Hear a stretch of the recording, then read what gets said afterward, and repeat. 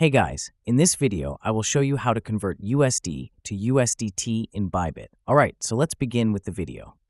Begin by locating and opening the Bybit app on your mobile device. Ensure that you are logged into your account. If you're not logged in yet, enter your credentials and access your dashboard.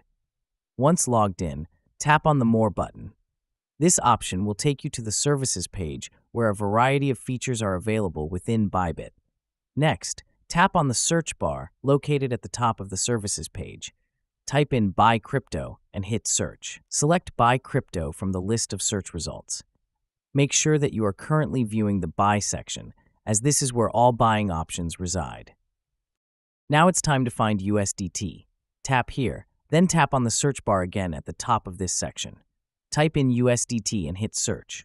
Select USDT from the displayed crypto options. The next step involves selecting your fiat currency for conversion. Tap here.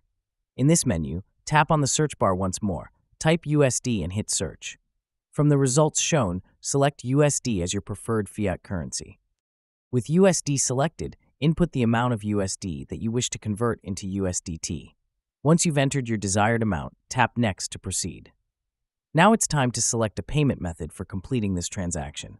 Review your available options carefully, then tap Buy with USD. Once you've made your choice, this action will initiate the conversion process from USD to USDT. So that wraps up this tutorial. So that's basically how you can convert USD to USDT in Bybit. So that's all for this video. Consider subscribing if you find it helpful, and I'll catch you in the next one. Thanks.